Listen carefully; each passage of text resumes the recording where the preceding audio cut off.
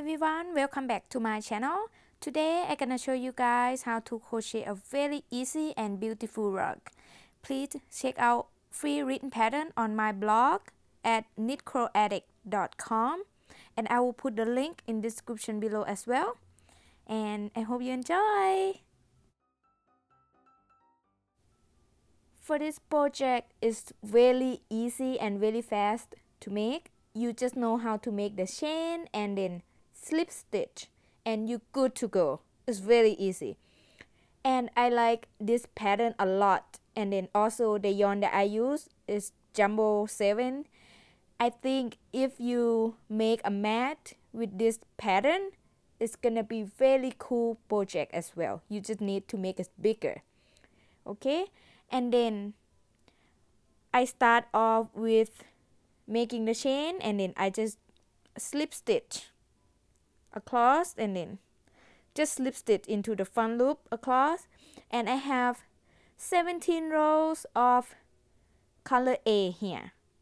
And then I have 4 rows of color B. And then 4 rows of color A. And then 17 rows of color B. So total of 42 rows.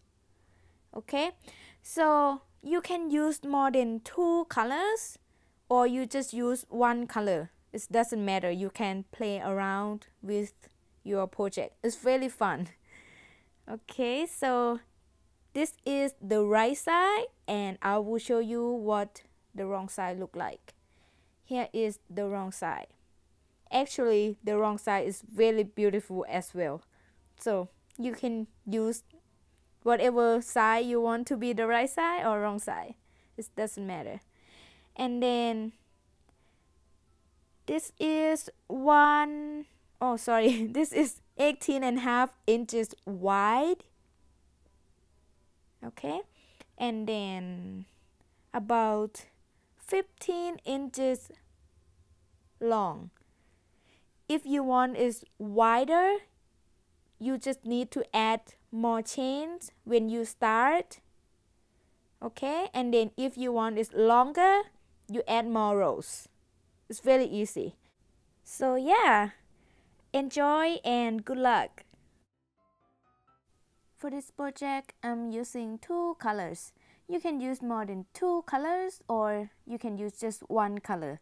It's totally up to you. And this is Bernat Maker Big.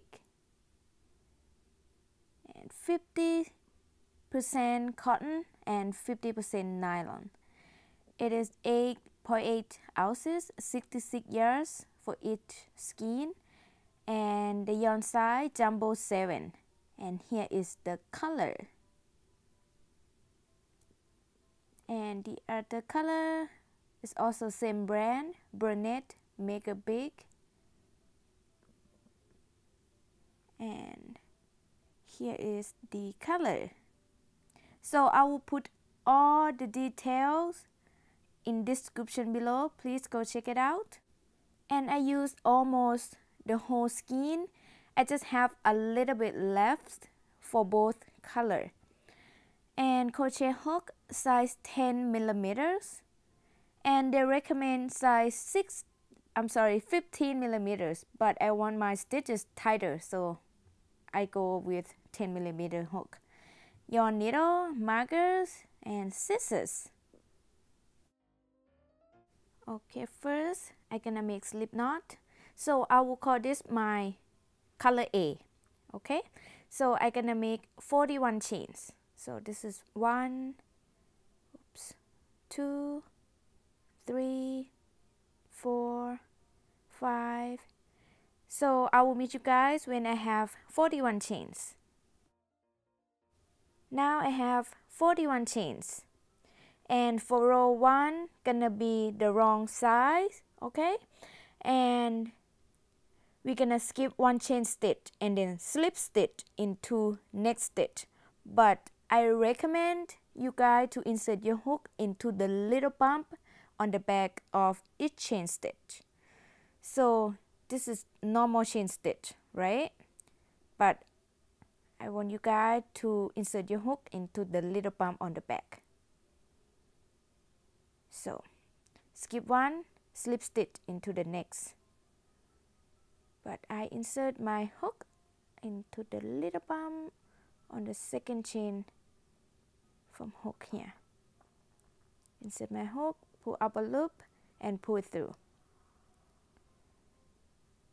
Make sure um, your stitch is not too tight after you make slip stitch. So make it easier to insert your hook for next row okay? And do that again with next stitch. Insert the hook pull up a loop and pull it through.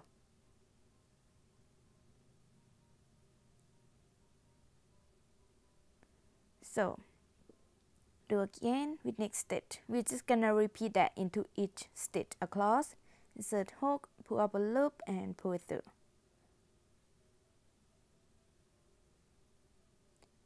Next stitch insert hook pull up a loop and pull it through.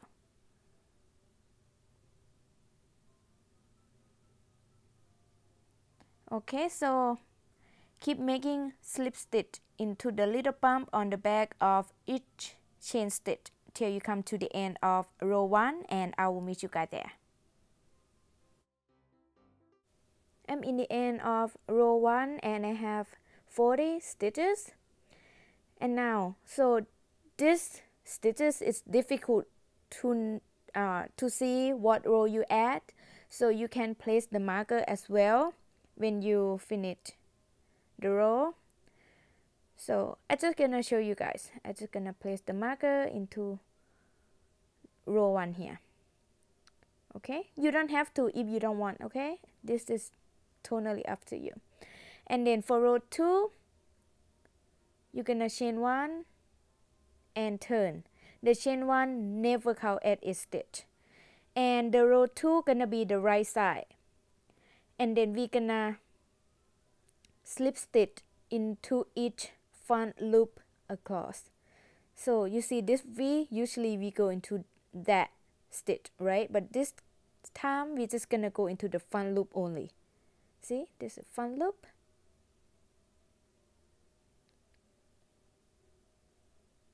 So here is the first front loop. Insert the hook into the first front loop. Pull up a loop and pull it through. This is the first stitch of row 2. And then repeat that into each front loop across. Insert the hook, pull up a loop and pull it through. And make sure um, don't make your stitches too tight. So I'm gonna repeat that insert my hook into next front loop pull up a loop and pull it through insert the hook into next front loop pull up a loop and pull it through okay that's what it look like it's pretty easy pattern right so now on row 2 you can place the marker right here as well or you can place the marker when you at the end of row 2 it's just gonna show you guys so for me, I just gonna use stitch counting. So like I'm in the end of row 1, I just gonna write it down. The end of row 2, I just gonna write it down so I don't need marker. Okay, so keep making that till you come to the end of row 2. I'm in the end of row 2 and I have the same 40 stitches. And Make sure to count your stitches every row so you're not increased or decreased by accident. And now for row 3 to row 17, you're gonna repeat row 2, which is chain 1 and turn. And the chain 1 never count as a stitch. And we're gonna make one slip stitch into each front loop across. See, front loop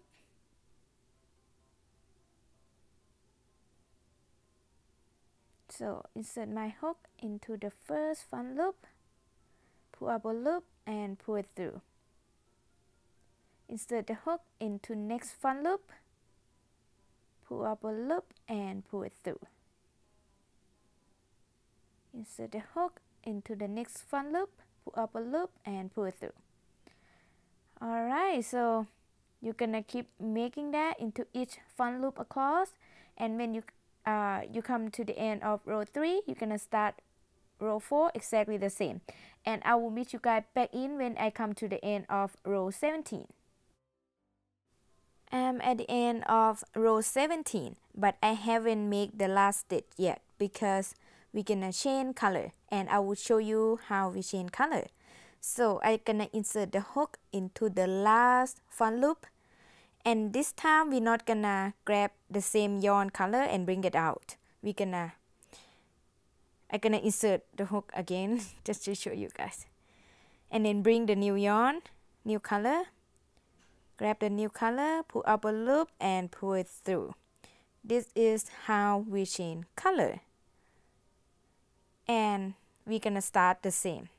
Chain one and turn so this is row 18 and then we gonna repeat the same pattern. And for row 18 to row 21 I gonna use my color B. Okay? So I just gonna insert my hook into the first front loop here pull up a loop and pull it through. Insert the hook into the next front loop. Pull up a loop and pull it through. Make sure your stitch is not too tight. And then insert the hook into next front loop. Pull up a loop and pull it through. Pretty easy right? Like I said for row 18 to row 21 I gonna uh, use the color B and repeat the same pattern okay? And I just gonna cut uh, the color A here.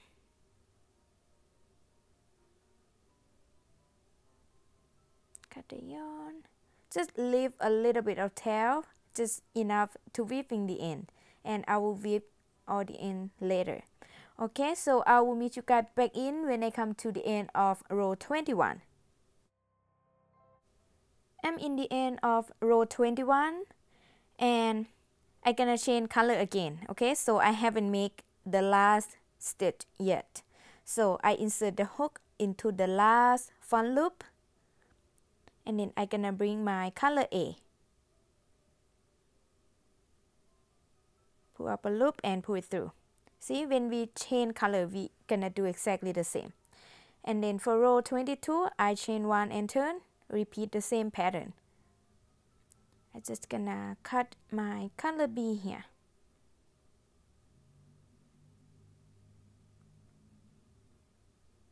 Okay, I'm just gonna insert my hook into the first front loop here. Repeat the same pattern. And then pull up a loop and pull through. Oops. pull it through okay. And then insert the hook into the next front loop. Pull up a loop and pull it through. Insert the hook into next front loop. Pull up a loop and pull it through. Alright so for me row 22 to row 25 I gonna use my color A and repeat exactly the same pattern. Alright and I will meet you guys back in when I come to the end of row 25 I'm in the end of row 25 and we're gonna change color again. So I just gonna insert my hook into the last front loop and bring my color B pull up a loop and pull it through. See we do exactly the same but I just want to show you guys just in case. Okay so for row 26 to row 42 I gonna use the color B and repeat uh, do sorry repeat the same pattern. I just gonna cut my color A here.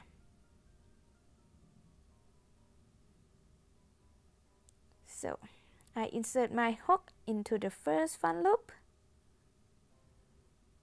pull up a loop and pull through. Sorry. And then insert my hook into next front loop pull up a loop and pull through. Insert the hook pull up a loop and pull through. Alright so just keep repeat the same pattern. And yeah like I said I gonna repeat uh, the same pattern till I have uh, till I come to the end of row 42 and I will meet you guys back in. Now I'm in the end of row 42 and then I just gonna cut the yarn.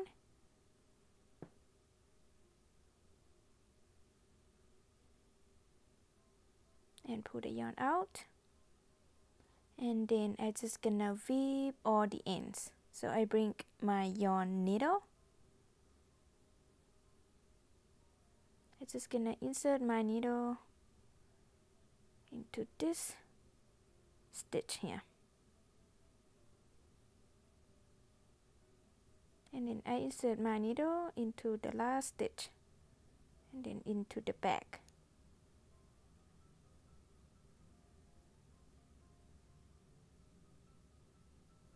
Oops this yarn when you weave the end you have to go right into the stitch not into the yarn because it'll get stuck. Okay? I'm just gonna keep weaving the end on the wrong side here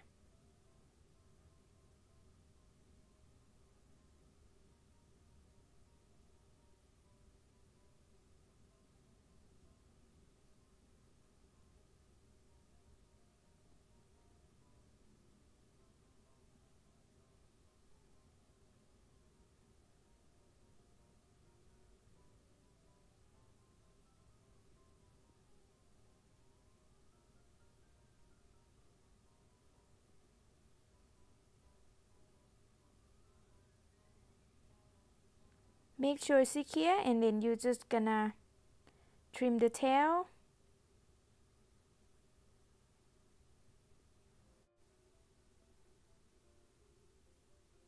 And then we're just gonna weave all the ends here.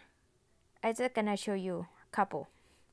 Okay so I bring my yarn needle again and then I insert my needle into the last stitch right there. Okay?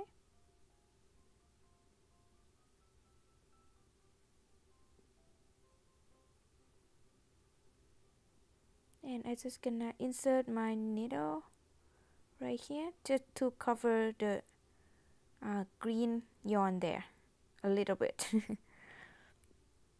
And then I go on the back the wrong side and I, got, I just gonna hide the tail on the wrong side.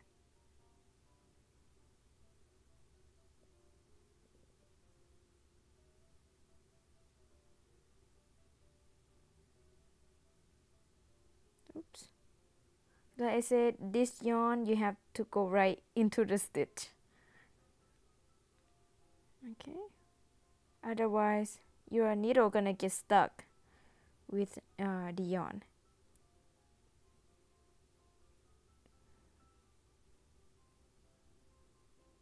okay make sure secure and then you just gonna trim the tail.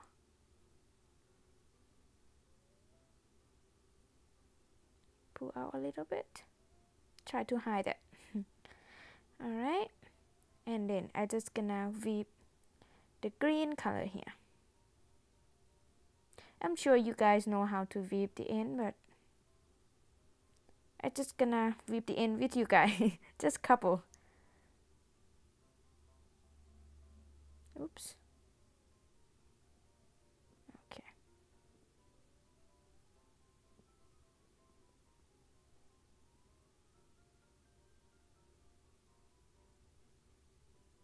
And then go to the wrong side and hide the tail.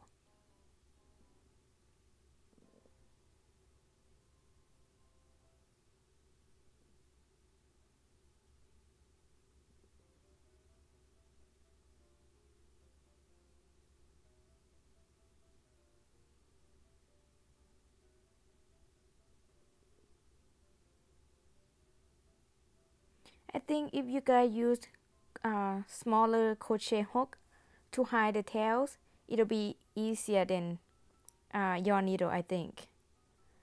Because the yarn needle gets stuck a lot because it's insert right into um, the yarn.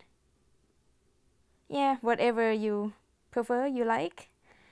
Okay so I'm just gonna trim this tail here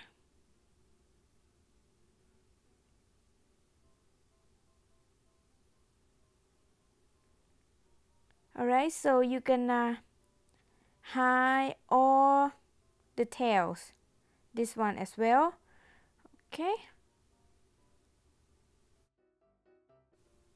Now I hide all my tails. That's what it look like on the right side. And here is the wrong side. Actually the wrong side is pretty cool too right? So yeah whatever you can choose to be the right side or wrong side it doesn't matter so yeah, congratulations! I hope you enjoy making this project. If you do, don't forget to give me a thumb up and subscribe to my channel. And I would love to see your project as well. Please text me on Instagram or Facebook. I will put all the link in description below. And thank you so much for watching. I will see you next video. Bye bye.